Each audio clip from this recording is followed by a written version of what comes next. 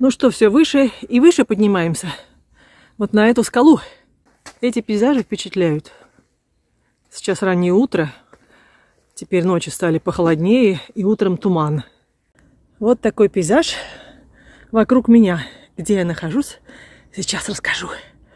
Всем привет! Сегодня я вас приглашаю на новую прогулку. А, нет, не по лесу. Сегодня мы с вами пойдем в деревню, в деревню Барбизон, а, деревня художников знаменитая.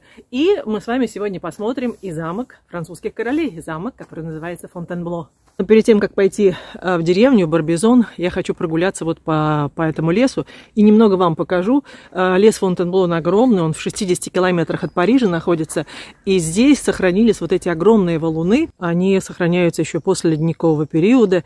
И вот именно сюда, кстати, французы приезжают заниматься э, скалолазанием, начинают, вернее, заниматься скалолазанием, альпинизмом именно здесь, в этом лесу Фонтенбло. И, кстати, не случайно здесь два портрета э, двух художников, Миле и Руссо.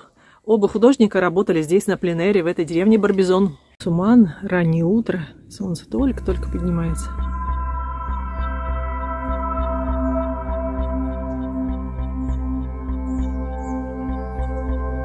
Некоторые камни это просто настоящее произведение искусства, но произведение искусства, которое создала природа.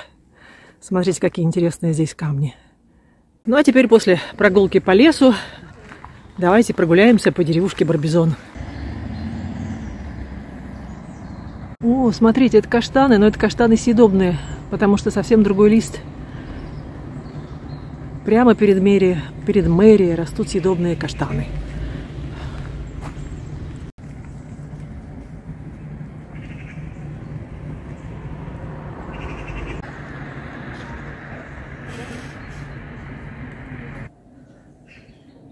Здесь находится знаменитая гостиница и ресторан.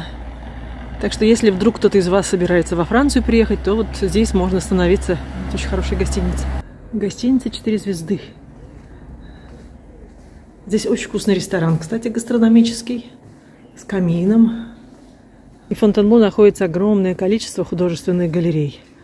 Я думаю, что это не случайно, потому что именно здесь жили, работали художники э, не импрессионисты, а те, что мы называем художники-барбизонцы, то есть первые художники французские, кто начинает работать на пленэре. Еще одна гостиница, гостиница, спа и ресторан. Пожалуй, стоит выпить чашку кофе. Этот дом прямо перед нами. Здесь жил художник э, Жан-Франсуа Милле.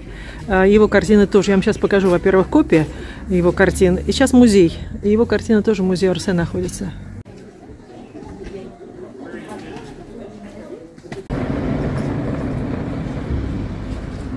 Люблю приезжать в такие деревни рано утром, когда еще людей мало, еще э, а, все закрыто, только вот там кафе открыто в центре. Сейчас туда пройду и выпью чашку кофе. Здесь, в Барбизоне, можно увидеть вот копии картин э, барбизонских художников, э, мозаичные, из мозаики собраны, но оригиналы, живописные полотна находятся, конечно, в музее Орсе в Париже.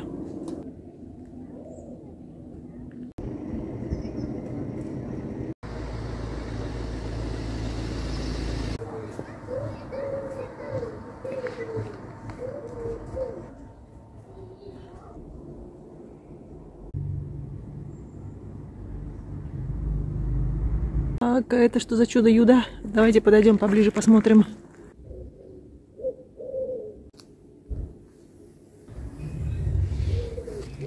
Как вам идея этого, этой скульптуры?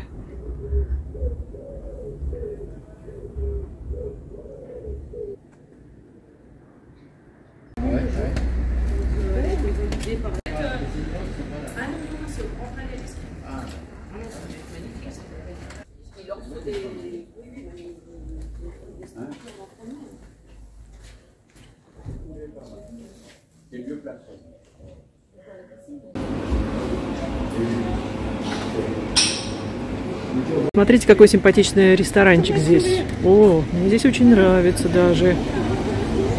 Вот ресторан, он при магазине. Здесь магазин с сыром. Ой, вообще здорово. Бочка, э, стол, вокруг стулья. Слушайте, прям замечательно. Мне здесь очень нравится. Можно что-то выпить. Сидр, пиво, вино, все что угодно.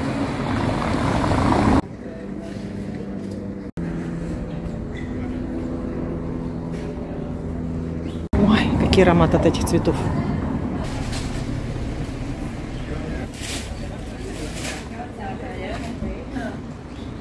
Здесь овощная лавка очень симпатичная. Ну, такие двери интересные.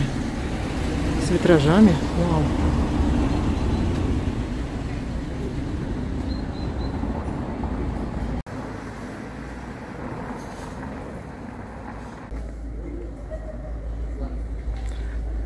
Еще одно кафе. Ресторанчик, вернее.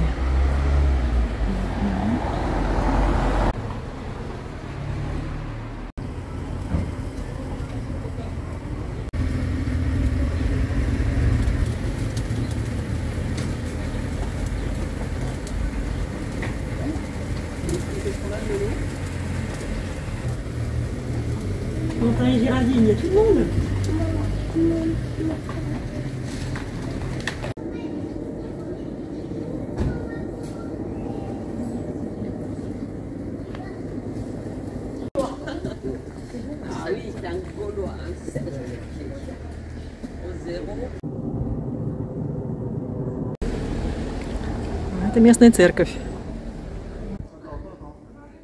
Давайте зайдем посмотрим, какая она внутри, эта церковь.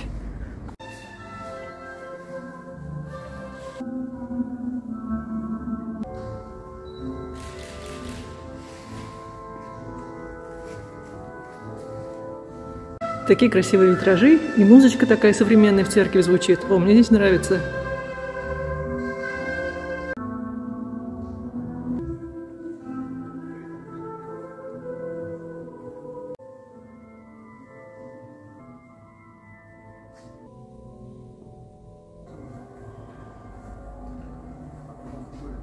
И здесь рядом с церковью вот такой грот.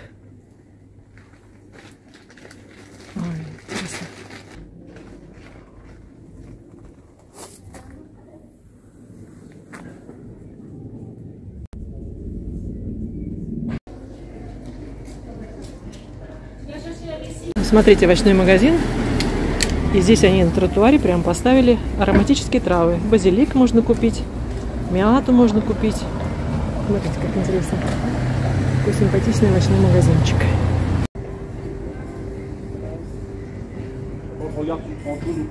А здесь магазин цветов и магазин сувениров. И посмотрите, какой интересный декор. Вау. Здесь очень, очень нравится них. Давайте посмотрим.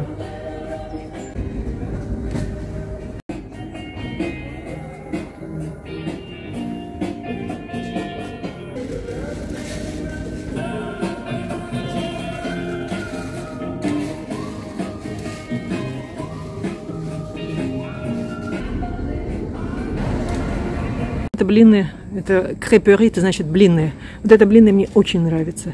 Во-первых, смотрите, какие здесь окна старинные. А, И я здесь как-то обедала, здесь очень вкусные блины с сидром, просто замечательно. Ну, еще закрыто, на обед откроется.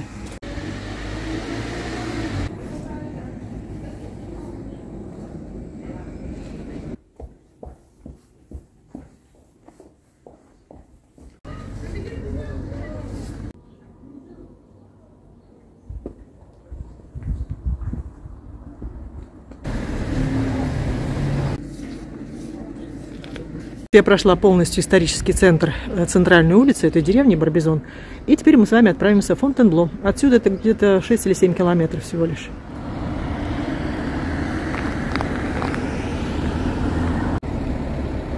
Мы с вами приехали в знаменитый королевский замок Фонтенбло. Лестница отреставрирована. Давайте поближе подойдем, посмотрим. Новшество. Как только приходишь сюда, э, план этого замка. Вот он огромный, этот замок Фонтенбло, который упоминается впервые в X веке, в 12... В общем, все короли здесь, начиная с XI века и до XIX, э, жили здесь, охотились здесь. Но сам замок, он самый он разный. Здесь и вот 16 век, это 17 это 18 с правой стороны. И вот эта часть двора называется э, двор белой лошади. Хотя вы скажете, какая лошадь? Белой лошади здесь нет. Была. Был когда-то здесь, вернее, задуман был памятник Генриху II по приказу Екатерины Медичи, но лошадь привезли, а всадника на ней никогда не появилось. Так и осталось название «Двор белой лошади». Какие ароматы М-м, апельсином или лимона, не знаю, что такое, но цветут, и этот аромат распространяется по всему парку. О, а здесь уже мандаринчики маленькие. Красота. Эта лестница, она просто замечательная, построена в форме подковы в начале 17 века.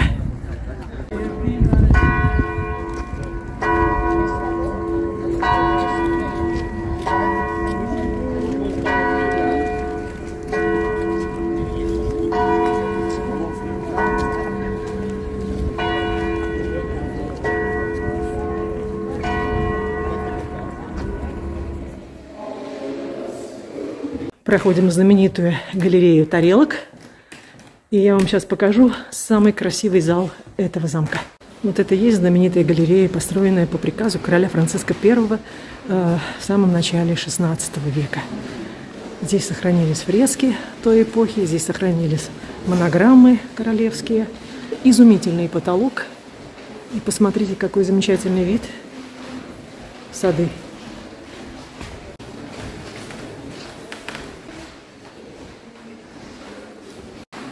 Ну и здесь же сам красавец Франциск I, вот его бюст той самой эпохи, кстати,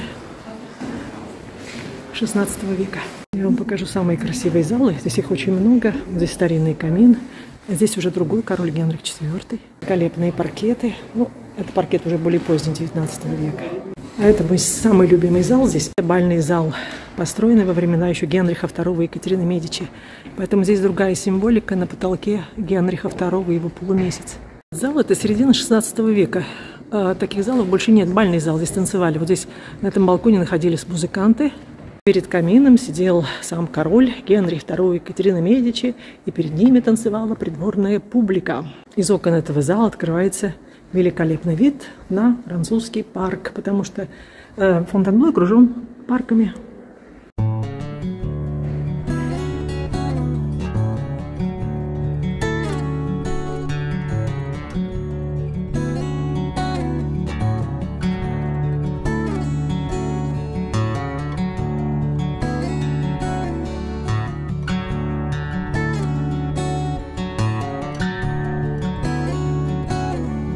Замок это огромный, комнат много. Я вам покажу только самые-самые-самые комнаты. Здесь сохранился один из салонов замечательных. Со старинными гобеленами, со старинными коврами. Так что теперь вы понимаете, что Фонтенбло нужно обязательно посмотреть. Очень красивый этот зал.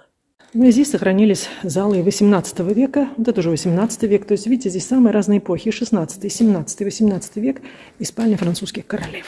И, пожалуй, самая красивая, самая богатая комната этого дворца – это спальня. Спальня французских королев. Это уже 18 век. Великолепные ткани, кровать, которая была изготовлена для Марии Антуанетты. И посмотрите, какой э, великолепный камин, французский хрусталь люстры – Тронный зал Наполеона I. Для Наполеона было перестроено его одноглавый орлы. Но потолок тот, что видел Людовик XIII, король старинный. Вот он сам Людовик XIII, его портрет. А здесь мы с вами проходим спальню Наполеона I. Великолепная ткань. Наполеон спал не там, на парадной, в парадной спальне, а здесь. Вот такая у него была походная. И самое главное, рабочий стол. А в следующей комнате Наполеон подписал отречение от престола. Вот именно за этим самым столом и именно в этой самой комнате. Ну и закончим такой очень краткий обзор замка Фонтенбло в церкви, королевская часовня начала 17 века. Королевы сидели вот там, на втором этаже, на балконе. Придворная публика этажом ниже. А, на свежий воздух. Давайте подойдем вот этому пруду Карпов. Пруд, который был построен еще во времена тоже Генриха IV, то есть самое начало 17 века. Китайские. Здесь есть музей китайский, так его называют, но, к сожалению, он закрыт. Уточки. Сейчас посмотрим, где здесь карпики. Обычно здесь много. О, полно. Посмотрите. Огромное количество. Какие они толстые, большие. Вау. какой жирный. Вау, народный. какой ты толстый. Смотрите, смотрите, смотрите, какой. Какой толстый огромный.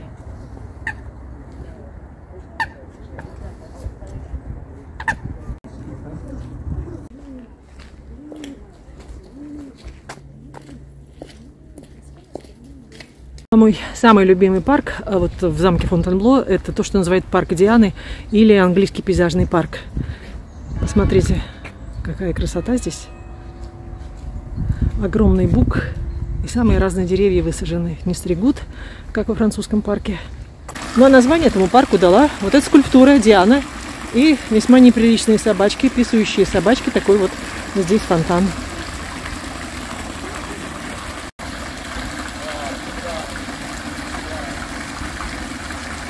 Первые желтые листья. Ну, вот здесь, в этих парках Фонтенбло, мы с вами завершим нашу прогулку. Надеюсь, что вам было интересно.